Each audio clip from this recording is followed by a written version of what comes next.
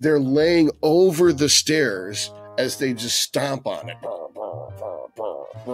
like an elephant with um, some type of cerebral damage Warning!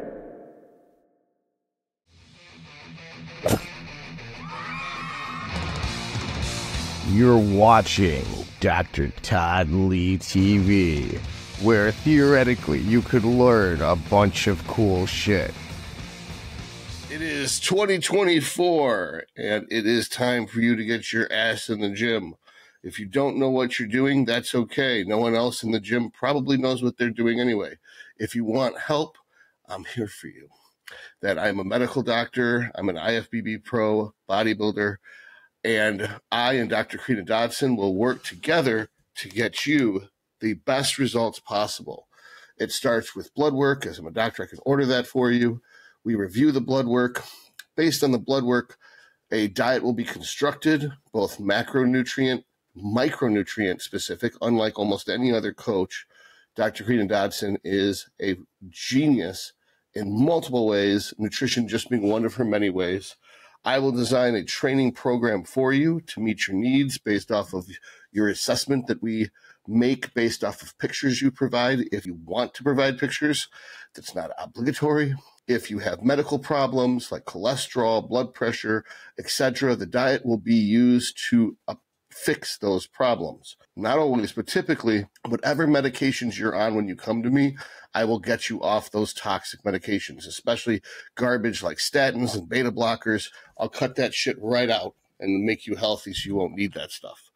Now, as far as HRT, that is, of course, my specialty. You're covered. I'm more than happy to help you with your hormone replacement needs. If you're a competitive athlete, a competitive bodybuilder, that we will be just as competent, if not more so, than any other coach. Only, unlike other coaches, I am a doctor. So you are much safer doing your competition preps with us than with anyone else. Please click the link in the description box to set up your consult so we can discuss how you can either get the body of your dreams or start winning if you've hit a plateau in your competitive career. Have a wonderful day. Thank you.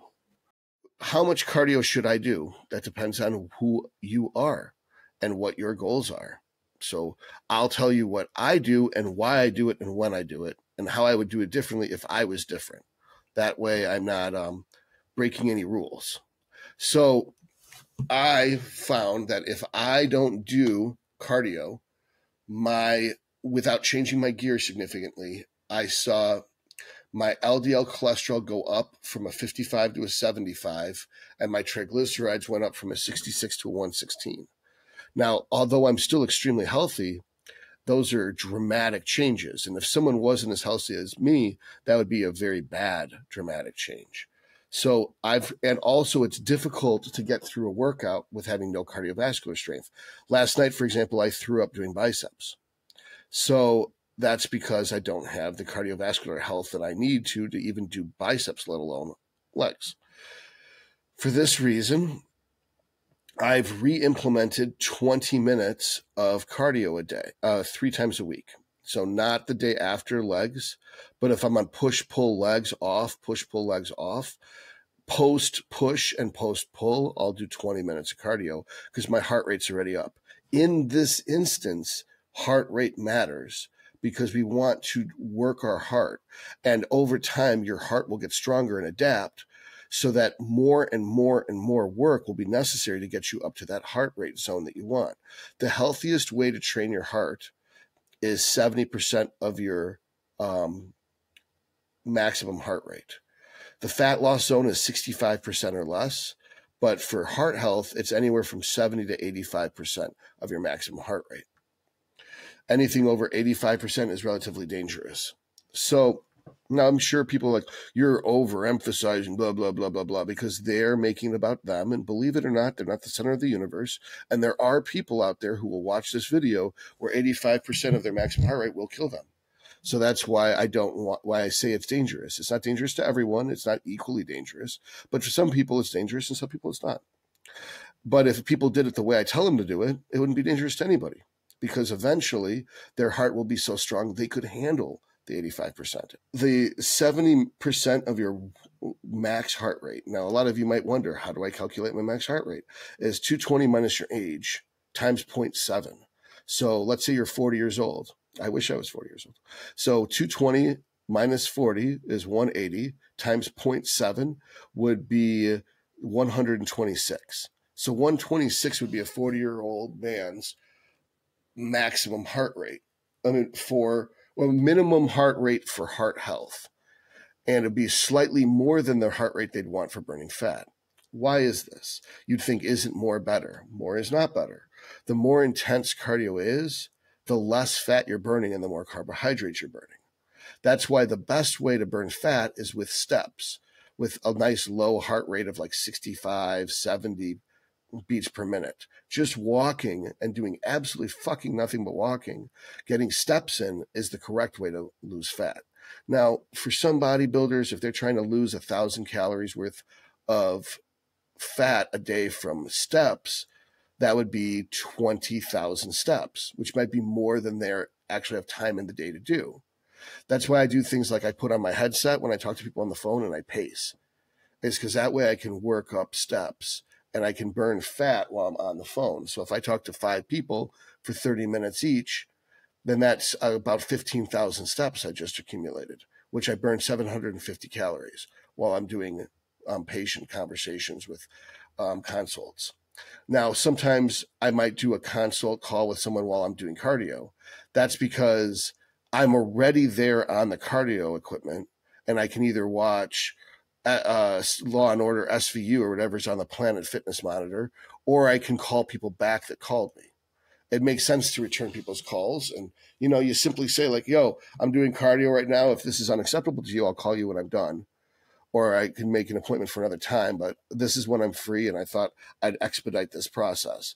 Most people will consent to this, and I think it is a good use of your time is to try to get some work done while you're doing cardio. Other things you can do uh, if you like is if you have a favorite show, only watch it while you're doing cardio. That way you're compelled to do like if it's a 41 minute show and you have a fat loss protocol of 41, 40 minutes of cardio every day, then you watch one episode of your favorite show fasted while you do your cardio and it makes it wonderful rather than awful.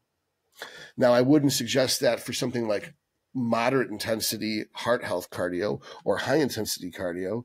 For those, I would pick something more intense. Usually, I like to pick something with a tempo equivalent to what my heart rate's supposed to be. So, for example, if I was going to do HIIT cardio, I'd pick something that had a really fast uplifting chorus that gets me so energized it makes me want to move. And the choruses are usually 20 to 30 seconds long. And then you usually have a 30 to 60 second verse. So it goes chorus, verse, chorus, verse, chorus, verse. Then you just, that's five, four iterations right there.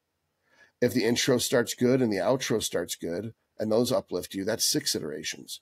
Put two of those songs together in a row, and you have like a two or three song playlist that's only 10, 12, 15 minutes long, but that's your hit cardio music. And what's funny is there's a neural activation that the more you play that playlist, the more your nervous system and your adrenaline gets all fired up. So that eventually when you just hear that song you get an adrenaline surge. This is useful for things like um, max rep um, maxing out prs what am i trying to say? Final sets work sets. So i listen to an amon amarth song father of the wolf before i squat. And I've, and I only listen to that when I'm going to squat. So when it's a, a, work set for squats, if I hear dun dun dun like that, boom, the nervous system's activated, the heart's pumping, everything's ready to go. For deadlifting, I listen to Dead by Dawn by Deicide. That every time for 30 years or some shit, I've listened to the same song for deadlifting. For benching, it's Twilight of the Thunder God. So I have a specific song for each lift. So my nervous system knows exactly what it's supposed to do when I do that lift. And it knows, like, all right, we're doing this. And same thing like women will know this probably better than men that the way their husband smells triggers things inside of them that they don't have triggered when they smell other men. And it's something that's a neural association and that it really is helpful. So that's the same thing as that when I hear that, I'm ready for that lift. And I don't listen to that song unless I'm doing that lift, which is part of why it was difficult for me to let go of bench squat and deadlift. So then I have to let go of those songs.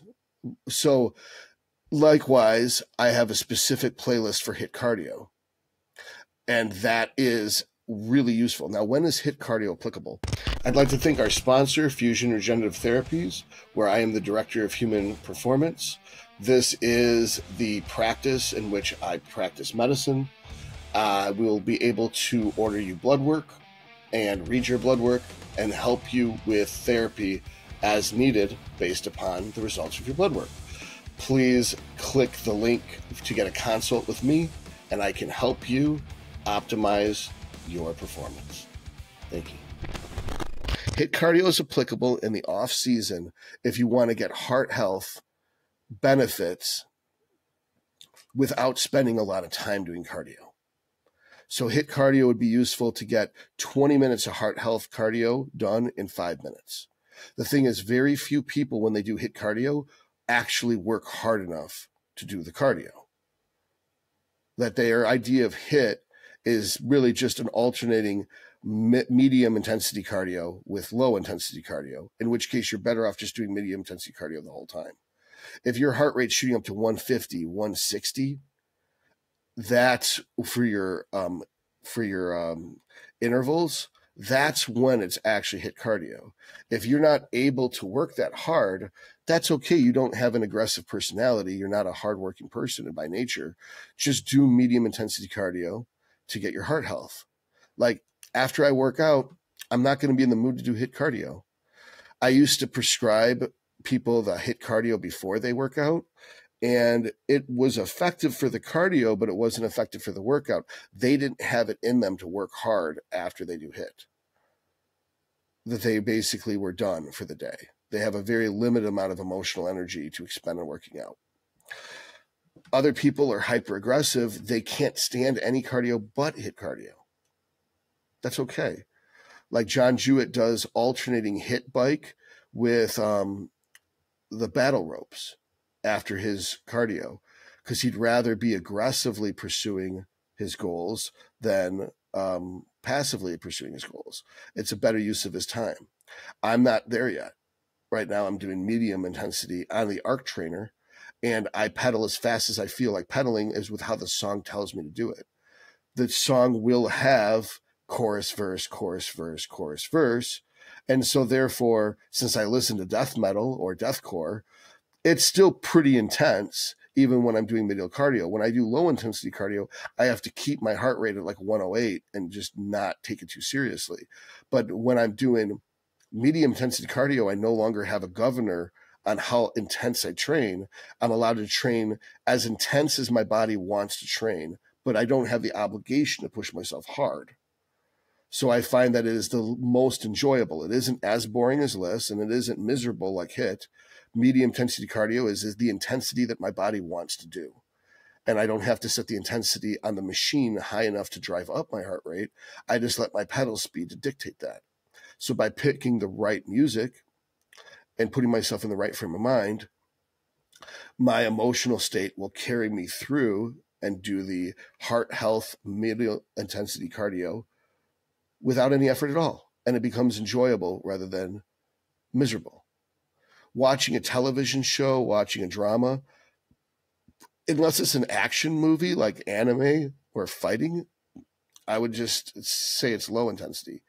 If you like watching like some ninjas fighting and shit, and that's your favorite thing, or you decide to put on Battle of the Bastards from Game of Thrones, and you get all pumped up watching Jon Snow face the entire Bolton army with nothing, but his sword, then that might be what you need for HIIT cardio or for medium intensity cardio. You have to learn to look inside you and find out what is your emotional triggers and how can you use emotion as a tool.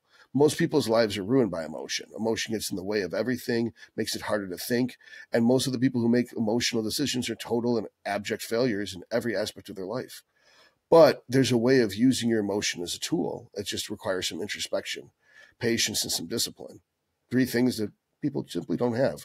But you could try, because it never hurts to try, you know, and a lot of people are like, this is getting too philosophical. It's supposed to be a video about cardio. And I think that why is my getting philosophical? The majority of people know they're supposed to do cardio and they don't like it, so they don't do it. But then they say the reason why they do it is they don't know what kind of cardio to do, as if doing the wrong cardio is worse than doing no cardio, which they know isn't true either.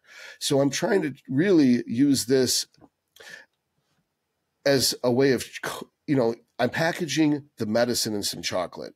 I'm basically trying to teach you something that is find a way to motivate yourself to do cardio by attaching something you like to it so that you enjoy the cardio. And then you'll want to do the cardio and then you'll do the cardio. And because you're doing cardio, your heart will be better. And worrying about how many minutes, how many times a week, which equipment and blah blah blah like th- those are excuses to just not fucking do it that's it the reason why you want to know the details is you want excuses to quit and not do it rather than just now there's people like me who want to optimize it and are willing to put emotions aside.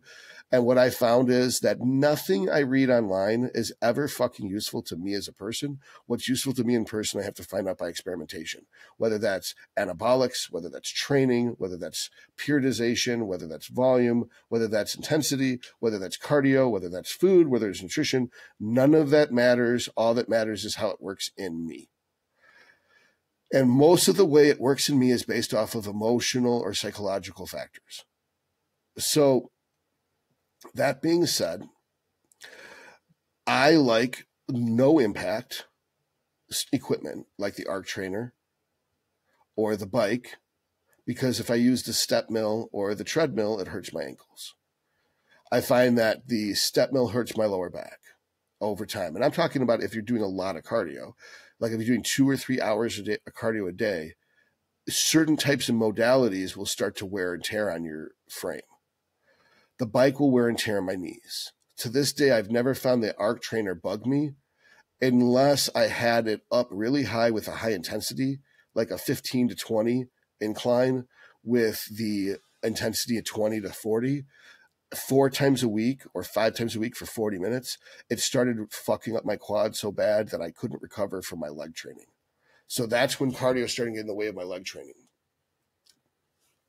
So doing a shit ton of any one piece of equipment is a shitty way of doing cardio. Now I'm going to tell someone, now this is where this is going to go wrong. I'm going to tell you what I've done in the past that worked for me.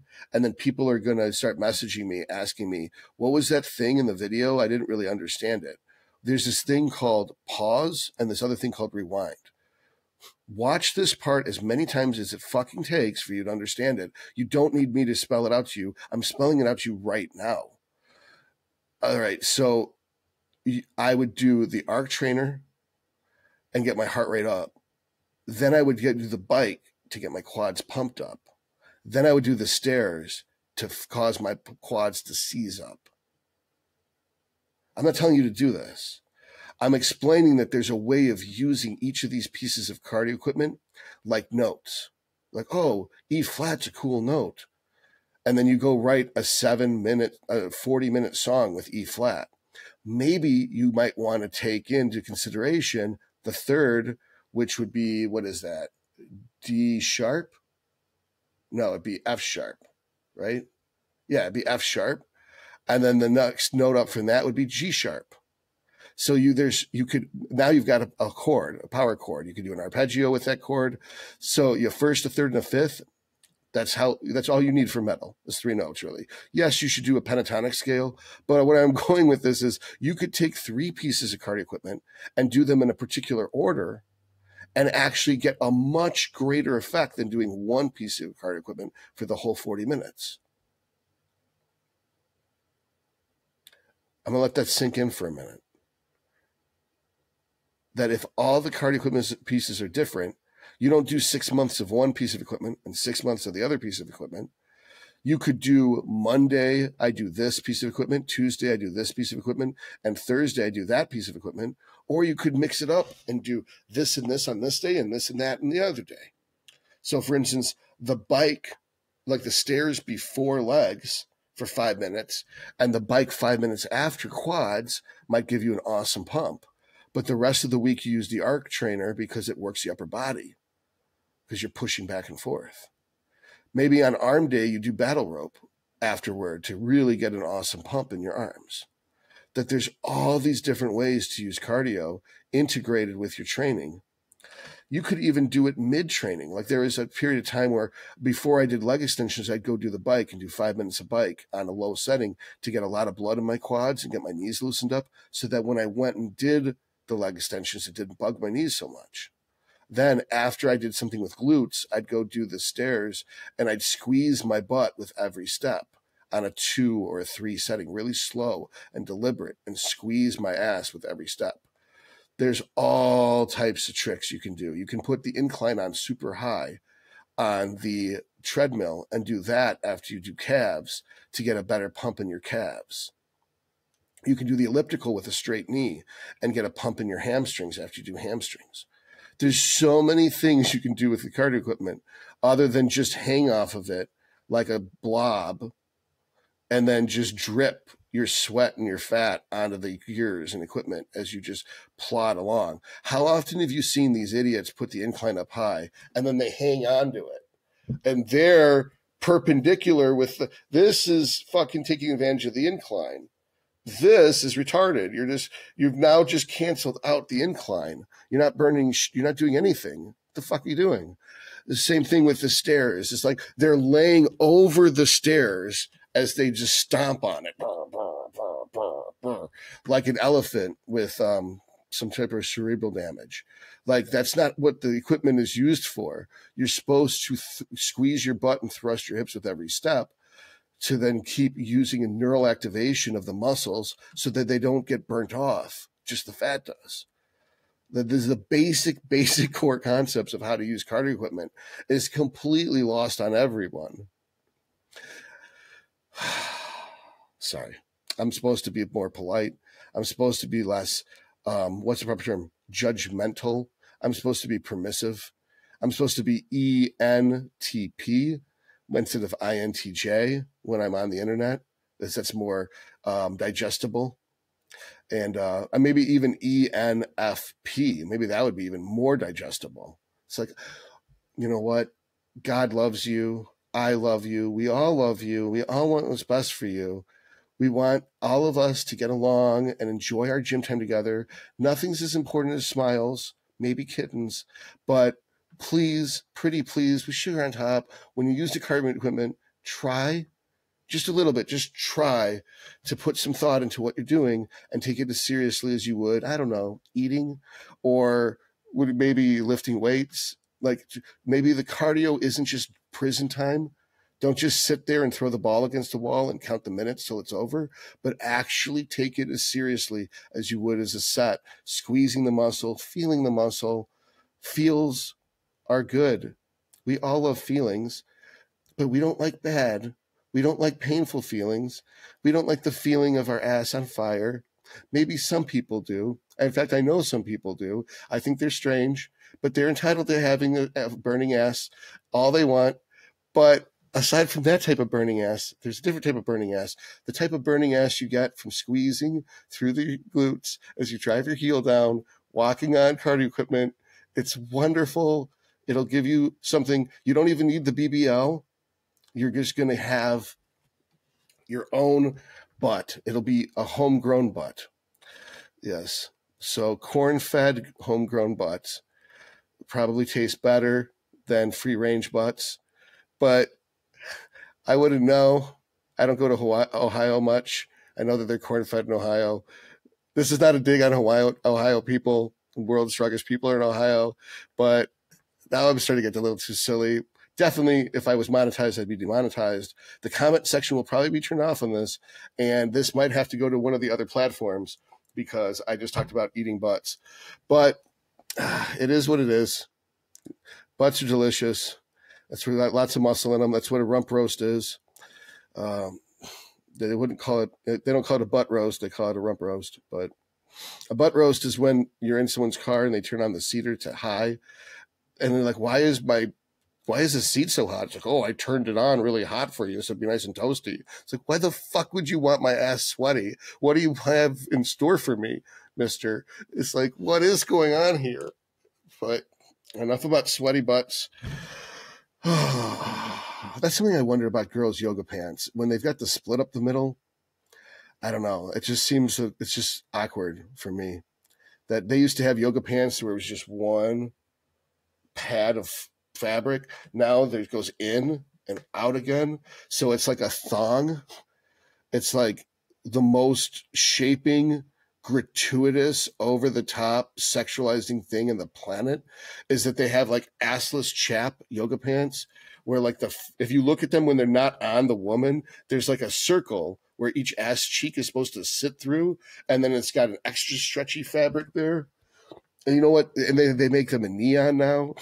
So it's like no matter what. And then, of course, you're on camera. And if you look at their neon, what do you call it, stripper wear, then you're a pervert. It's they should actually make the yoga pants with the camera built into the yoga pants so that you, when you look at the highlighter covered butt with the neon colored butt, it catches you and then takes a snapshot and then sends it rec- directly to catch a predator so that you're on file as a sex offender because you looked at a girl's butt at the gym. There should even be like a dinner bell ring rung when they walk. So like there's a dinner bell ringing as they walk and then you look over like that and then it catches you on camera looking at their butt because you're a pervert. So and how does this tie in with cardio? Well, if you really want to have gratuitous, what do you call it, attention and be as aggressively pursuing catching men being perverts as possible, do your cardio. So there's an emotional motivation for you right there. You got to listen to super fast death metal and you get to catch a bunch of dudes being perverts all because you did cardio. Could you even do it at the same time. You've got the camera on your butt filming all the people behind you on the cardio equipment and you can be like, "Oh my god, look at how they stare at my butt," and then you can upload it to TikTok, and then people will be like, you can like hashtag victim, and then people will like, what do you call it? Be so they'll follow you and they'll pay attention to you and tell you that you're so brave. You're so brave that you went and did cardio. It's like because there's so many creepers staring at you. Anyway, so I just want you to know that when you do cardio, you're brave. Make sure to listen to death metal so that it's more fun and easy. If you like Law and Order SVU, make sure to check out the episode about the people looking at girls wearing neon yoga pants while they're doing cardio, because that'll come out next for sure. Because they're a special type of victim when they dress like that, and then people look at them. Poor things. So I know I would hate it if members of the opposite sex felt desire or lust for me. That sounds horrible. I can't imagine the hell that would be to be an object of desire but this isn't very sensitive because I'm not doing a very good job of being ENFP. I hope you enjoy this video. For more um, uncensored content, go to a different platform because this is the family friendly platform of YouTube. Thank you. Bye bye.